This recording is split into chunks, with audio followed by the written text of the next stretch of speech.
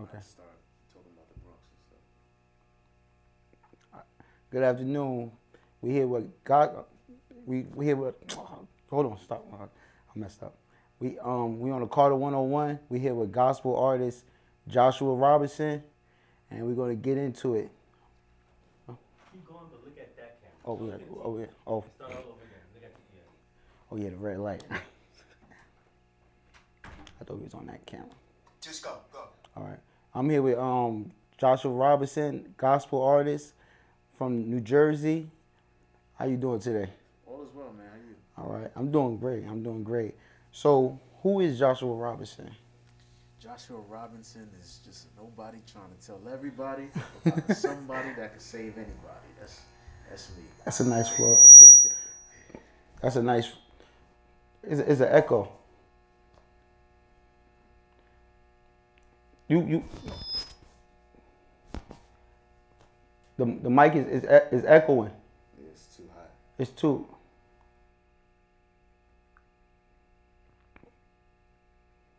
Start over from the top. All right. Five, Yep. four, three, two. How you doing? Good morning. You here with the Carter 101, Kahru, your host, and we here with gospel artist Joshua Robinson. How you doing today? I'm pretty good, man. How about yourself? I'm doing great, you know. Um, so who is Joshua Robinson? well, Joshua Robinson is a know what, a nobody trying to tell everybody about a somebody that can save anybody. And who is that somebody that can save anybody? That somebody is Jesus Christ. Okay. Yeah, I couldn't meet the, admit to that. He helped me a couple times. So, um, what got you into gospel music?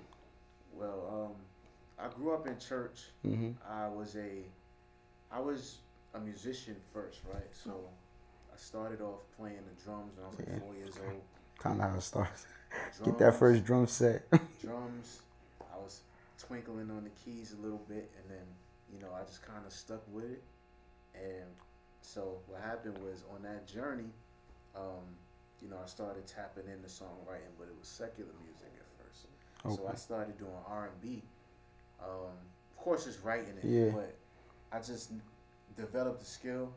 But I say in like 2018, I started actually writing music again. okay. So started doing R and B, secular music, some instrumental music as well. Yeah. And then um, that kind of just birthed the whole artist. So did you start? Did you ever play in church, or was it just Yeah, that was what I was doing for, the whole all time, life, all your really, life? So you just life. so you basically was raised in the church, and you played music. You came up, and so that's basically what got you into the gospel music. well, Cause that's yeah, I- that's what made me familiar yeah, with it. Um, except the story about how I transitioned from R and B to gospel was a little different. Okay. I was gonna do, I was gonna stick to doing R and B, okay, but you know, God just started tugging on my heart and telling me, "Hey, you need to go in this direction." So that's kind of how that came about. I started doing gospel, all based off of confirmation, you know, because I, I had thought, but um, what happened was I had the thought, but I didn't say it to anybody. exactly. But So when other people around you are telling you, like, hey, you know, if you just did this, but you did it as gospel, you did it for God, it would be different because that's a lane that's kind of vacant. hmm So think about it. You know, you thinking about something, and everybody around you is telling you, but you never said anything to them. What that sound like? yeah, that sounds like God's work. Yeah, you know? um, so what was like something? So you so what was the art? What was some artists that you some artists that you looked up to growing up?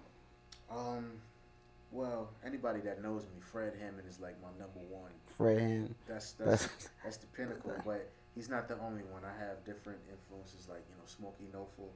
Um, you got Darwin Hobbs. You got John P. Kee. You got the Winans, Marvin Oh, Winans. you, know, even on the secular side, you know, you got like it's old school stuff though. Like yeah, I Frankie see you got that soul. yeah, yeah, like Frankie Lymon, um, Marvin Gaye, you know, Luther Vandross. It's the list goes on. I could, I sit here for a long I, I, time. u- I used to rap when I was younger, and I rapped to like a Luther Vandross beat. I made a love song for a girl. That was my first experience with rap. Well, we but both did that before. be in your room just writing, you Yeah, know. yeah, yeah, so yeah, I, I get you. So um, what was the first time like you ever you ever performed on stage? That would be like Yeah. when you was like in, in church doing a drum. So That was like like around what age? Um, well, doing drums when I started really.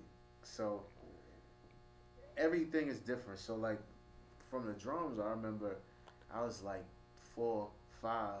My father bought me a little drum set, and so sometimes in church they'll let me just play Just play it, yeah. next to the actual drummer. Mhm. So I would just be, you know, banging around, you know, and stuff like that. But um, I started playing piano in church at nine. Yeah. Um, I really started singing for real, for real in 2019. 2019. Like, oh, so always- that's so that's like four years. So Yeah, you know. So so yeah. So, so the instrument started early. That was like five, and then by the time you, what like out of college, um, in college. So I didn't, I didn't do college. oh, Um, okay. Yeah, No, that was, I I, I I did one year. Got up out of here, but you know everybody has different roads. So See, my thing is this, right?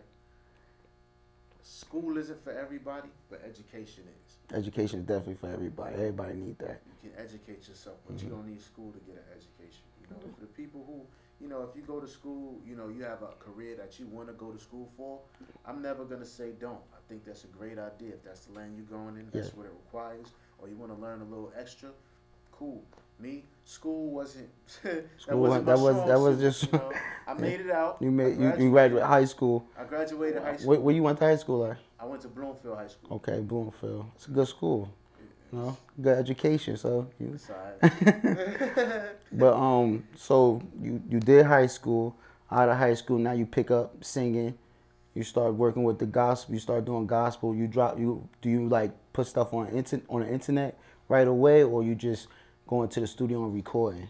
Well, I released a album, a gospel album last year. So I have three, four albums in total actually. Four albums. Four albums. So you're doing one album every year. I was. I did three albums um, in the R and B, Mhm. and then, but that's when I was doing it every year. Gospel, it's a little different. I'm, I'm, I'm seeing that it's similar, but it's different. But it- so it's some of the ropes. So I probably won't drop an album every year, yeah. but I'll still be consistent with you know music and you know content and things of that nature. So the album, so um, the gospel album, I dropped that um November of 2022. It's Okay. called From Darkness to His Light. From darkness to his light. Yeah. So that's like you entering to a new chapter in your life. Absolutely. That's that's a that's a good title. So, what's one of your favorite songs on your album? Um, to be honest with you, it's hard to answer that Mhm. only because They all your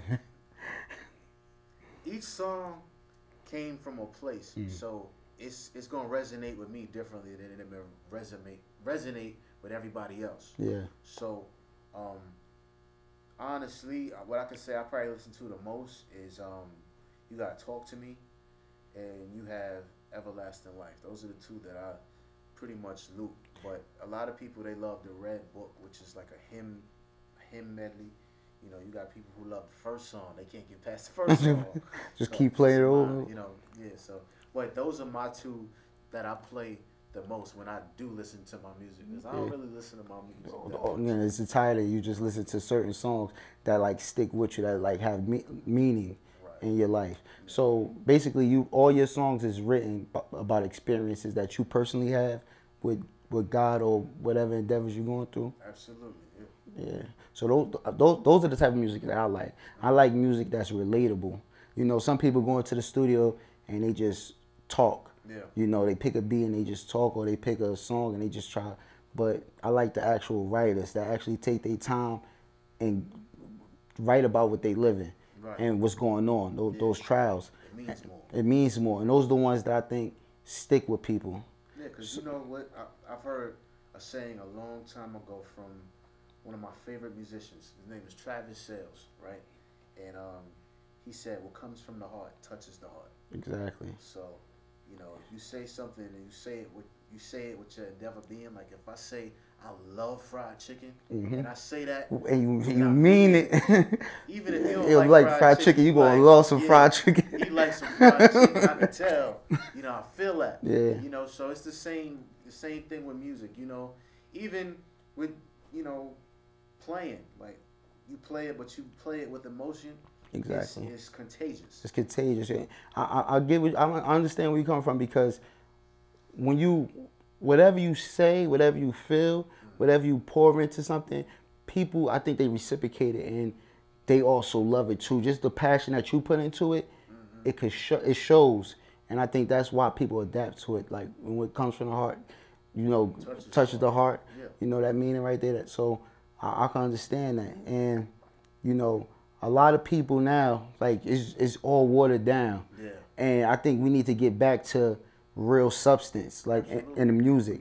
I think we need to get back to real substance because everything is just going there, just make a song, trying to make a hit, trying to make a hit. Nobody's really taking the time anymore to make actual music that people could could listen to and enjoy.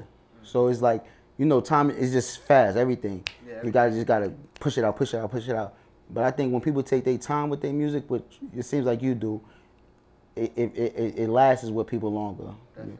You know? Yeah. That's, that's what they call timeless music. timeless music, and, and those are the ones that's appreciated. So, where do you see, where do where do you see your career going? Wherever the Lord takes it, man. Wherever the it's, Lord- It's, it's interesting because I'm in a place now where I got my hand off of the steering wheel. Like, in terms of direction, like, I, I knew where I wanted to go, hmm but God said, I got different plans for you. So, I don't know what the future has to offer. All I know is I'm going to do what I'm supposed to do now.